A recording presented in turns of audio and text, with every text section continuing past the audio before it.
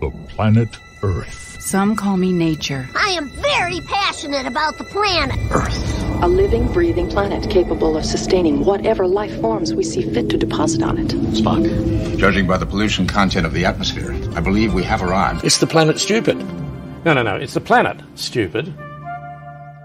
Our guide for It's the Planet Stupid, Belinda Waymouth, eco journalist, and uh, usually you have good news. You uh, come with uh, sometimes uh, mixed news, and sometimes you know we just have to take our medicine, and the news isn't that good. Mm. But uh, what can you uh, what can you report to us today, Belinda? Hi. Hi. Uh, well, we've got a few things going on. Um, we could talk. I think. Why don't we start talking about what's been going on in uh, California this week, these huge storms, Thank and you. what happened with infrastructure. Um, I sent you guys a link because journalists around the world were going nuts trying to show how Los Angeles was being deluged with water. And what did they use? They used pictures of the Los Angeles River. Now, the Los Angeles River, as everyone knows, you know, the Army Corps of Engineers came in in the 20s and 30s and completely concreted it. Uh, it's super ugly, but they concreted it to make it really efficient when we had storms so that all the storm water would drain off the streets into this, you know, sort of concrete channel and out into the ocean. So it was sort of um, I mean, it's, you know, what journalists do. We get taught to sensationalize and to dramatize things and to, you know, doom and gloom it and to terrify people. And so people were sh being shown these pictures of this churning brown water in the LA River. But the LA River was actually doing what it's designed to do and it was working perfectly.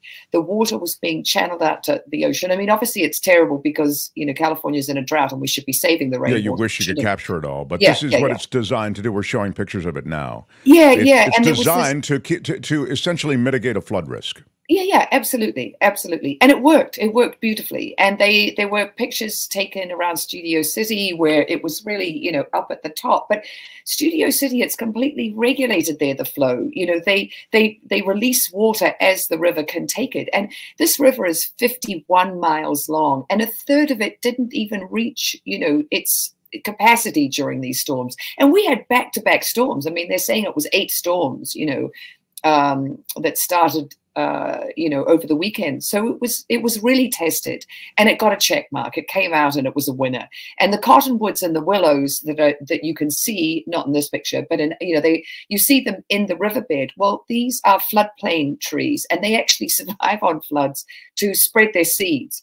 So um, this was an infrastructure win where we didn't have an infrastructure win, and where uh, municipal uh, wastewater uh, treatment plants were absolutely overwhelmed. You know, we had horrible sewage spills, and obviously we don't want to have sewage spills. These are awful, and there was an eight million gallon one that happened um, out of an unincorporated uh, area, Rancho Dominguez. Um, the water uh, ends up in uh, the uh, which is the beach. It's the Cabrillo Beach, and so it's the San Pedro uh, and Long Beach area where you've now got this bacteria and chemical laden wastewater.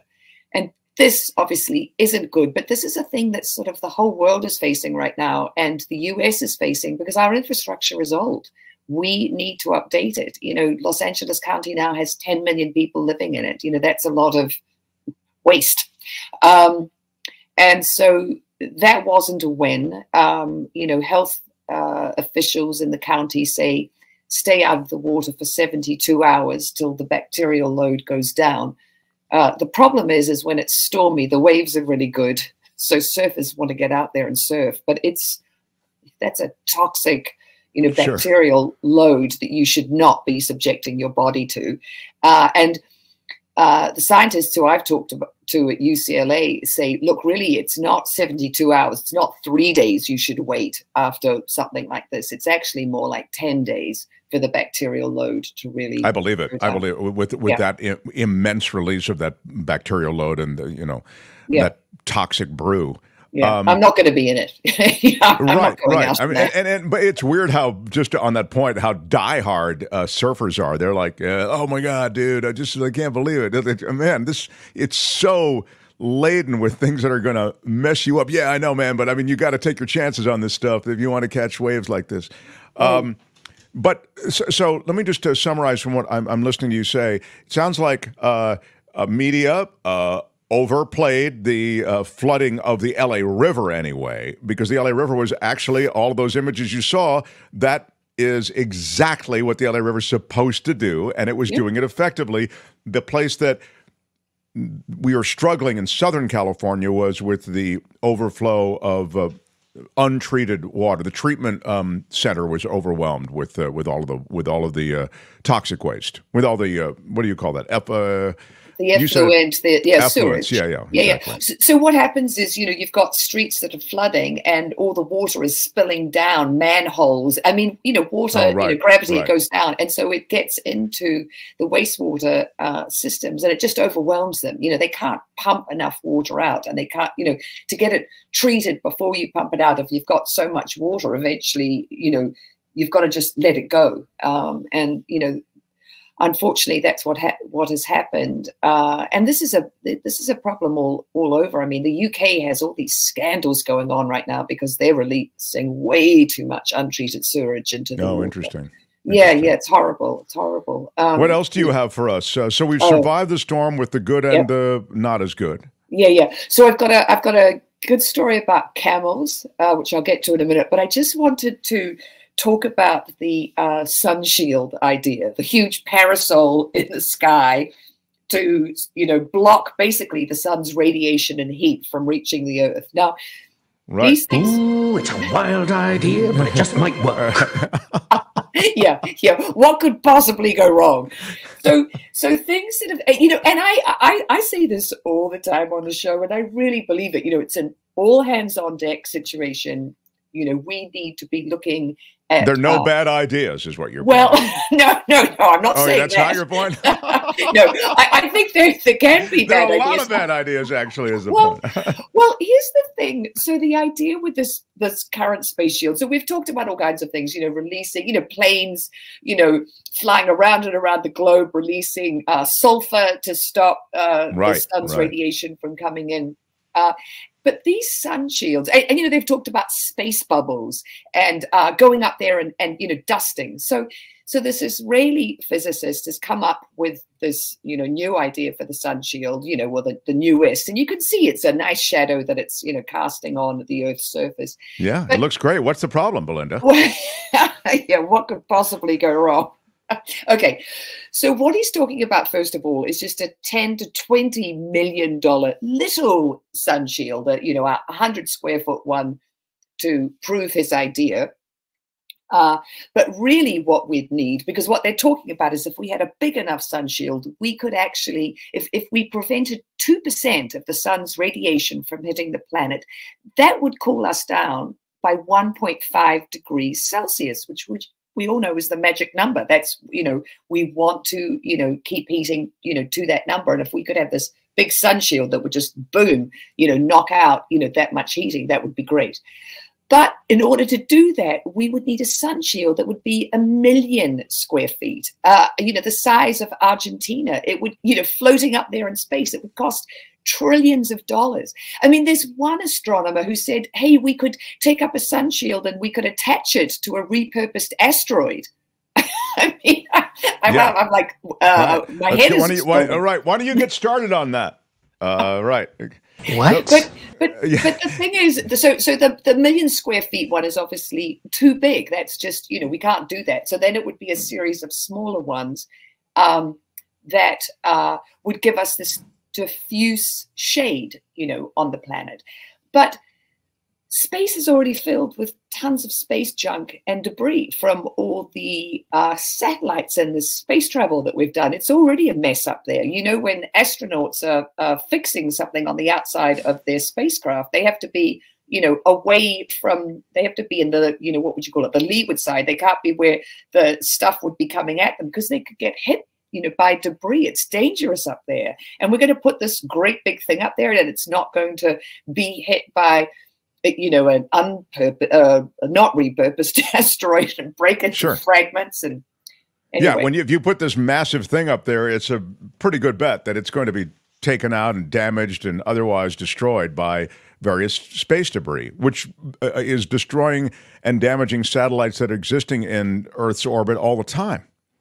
So yeah, it doesn't. Yeah. It do, I mean, so you're saying just as a practical matter, getting something big enough is impossible, and even if you were to put to get together a bunch of smaller st- things, they the survivability issue is a real one. So Well, well, yeah, because then it's you know, the, you know, then you have to sort of think of the ripple effect. Like, what does that um, diffuse shade do? You know, yes, we do need protection from um, the sun's radiation, but would we make it harder to grow crops in certain Sure. places, which is already going to become difficult because of uh, you know the increase in temperature and uh, lack of water.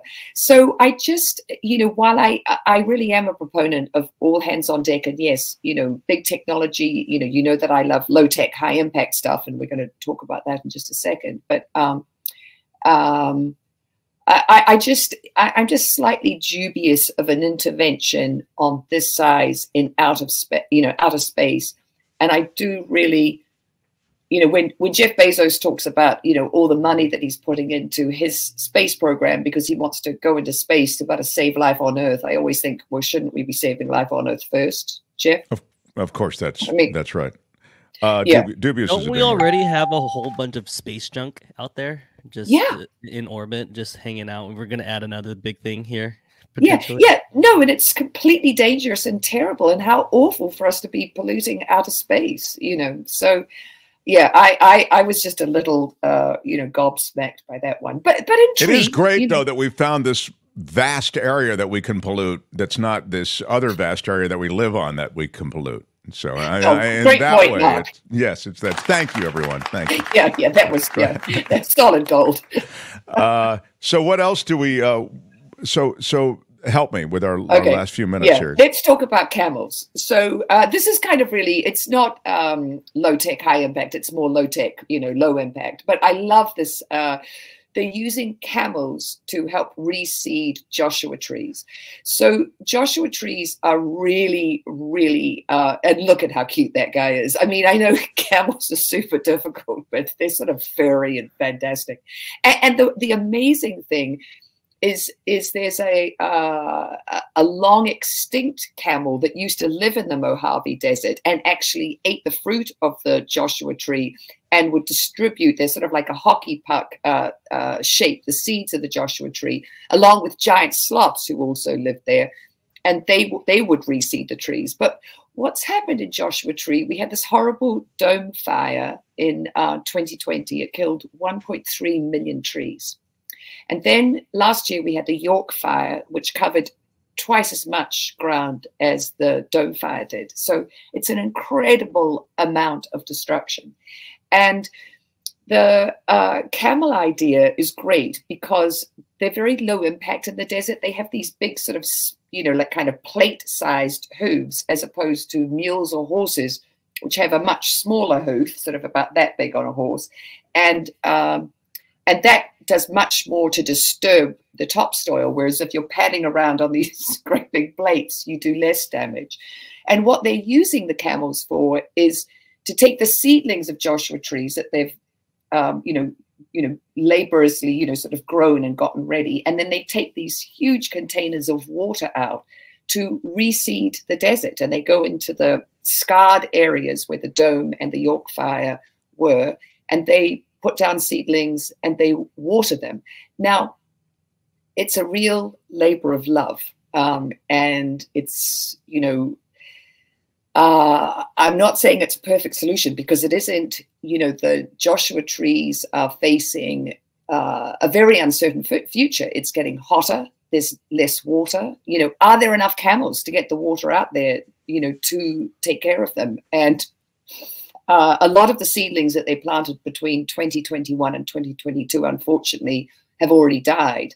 Um, but there are camel owners who are getting out there and saying, "Yes, I want to be part of the solution. I want to come help." And and apparently, we have really amazing camels here, like the you know Middle East and camel uh, races come to California to get our camels because our camels have been, you know, out in the desert and are selectively breeding as they want to and uh, not inbred like the ones, some of the ones. Oh, of course. Yeah, right. Yeah, right. yeah. So we actually have this great stock of them. We have the high end camels here, is what yeah. you're saying? Yeah, yeah, yeah, yeah.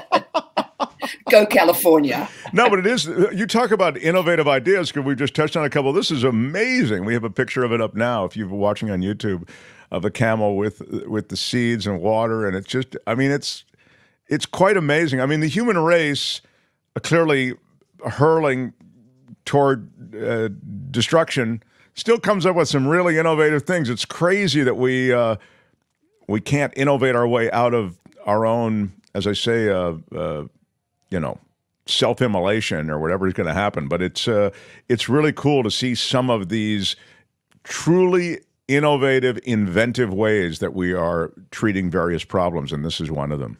So yeah, it's it's really cool. It's really cool. It, it's like the um, you know th- these grassroots efforts i think are amazing. You know one of the things uh, that i was uh, really intrigued and happy to read was to- uh, talking about what small towns are doing in bolivia.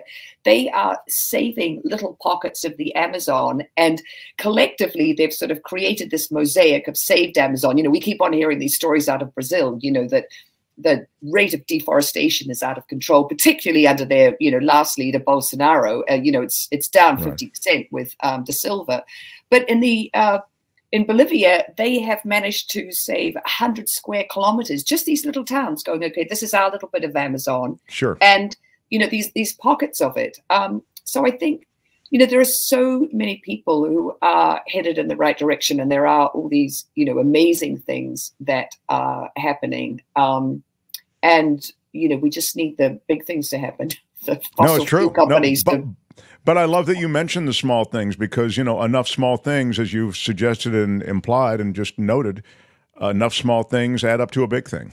So yeah, uh, yeah, it's like all the cities around the world that are saying, "Hey, we're not going to have mandated uh, parking spaces for cars anymore because that takes up too much of our land, and we need our cities to be greener and more sustainable." Paris has done this thing where if you drive an SUV, they're going to charge you 18 euros an hour to I park saw it. that. I saw yeah, that. Yeah, That's so because they want to be, yeah, they want Yeah. to be a bikeable city, and San Francisco and Austin and Minneapolis, they're doing the same things. It's like we're not, we don't want, you know, car parking spaces. We don't want these big cars. We're going to make it harder and harder. We need more green spaces in our cities. This will help, you know, keep them cool and livable. So It's you know. so wild. Yeah, that that story out of Paris, it just jumped out at me that they, you know, they're, you know, as we're driving these huge SUVs and pickups and all the rest. I mean, in Paris, they're saying, "Great, you want to park them in here? You want to drive it in here? It's going to cost you. There's going to essentially be a tariff on those bigger vehicles, and um, they want that greener space and they want uh,